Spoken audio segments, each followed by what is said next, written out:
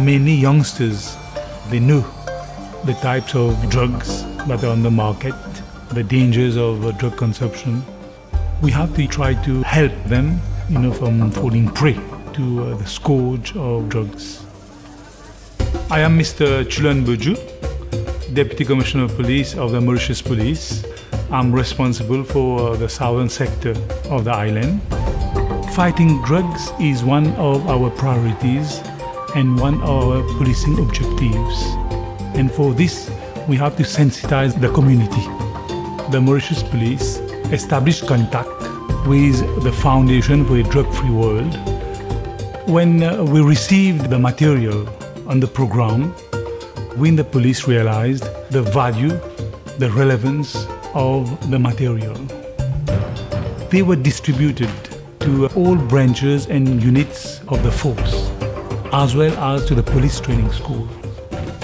They trained on it and they have found that these uh, material are interesting, they are enriching, they are topically relevant. So these have uh, helped our staff and trainers to conduct these campaigns in the fight against drugs. Then we went to the community through our community forums, schools and colleges, right, to sensitize them on uh, the problem of drugs. During these meetings, we have been distributing books, pamphlets, and showing videos.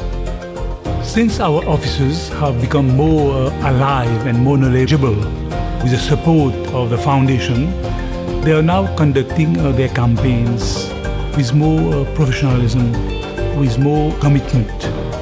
In this way, the outreach and the impact on the community is more visible. Our campaigns have become more lively, uh, more interesting, more catchy.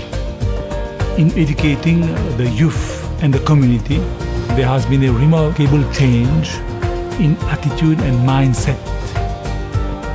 More than 20,000 have been touched upon with the program and is now an integral part of the Mauritius Police.